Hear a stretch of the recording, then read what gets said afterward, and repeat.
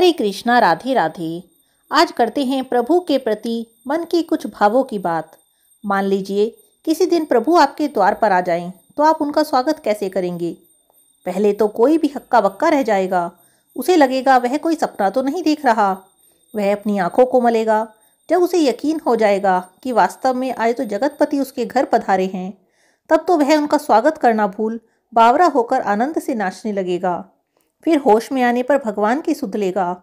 तब भगवान का स्वागत कुछ इस तरह से हो। पहले तो भगवान के चरणों में गिर जाओ, फिर उन्हें आदर से आसन पर बिठाओ।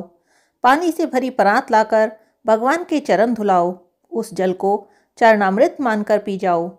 क्या ही अच्छा हो कि प्रभु के चरण अपने आंसुओं से धुलाओ। फिर भगवान को प्रेम से भोग लगाओ।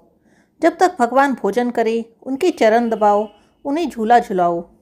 जब प्रभु कहें कि वह सेवा से प्रसन्न होकर कुछ देना चाहते हैं, तब कहो, हे करुणा सिंधु जगत पिता, हमें अपने चरणों की भक्ति दे दो।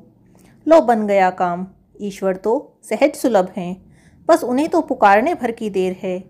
हृदय में प्रभु के लिए जितनी तड़प होगी, उतनी ही जल्दी प्रभु मिलेंगे। प्रेम से कहिए, जय जय श्री राधे।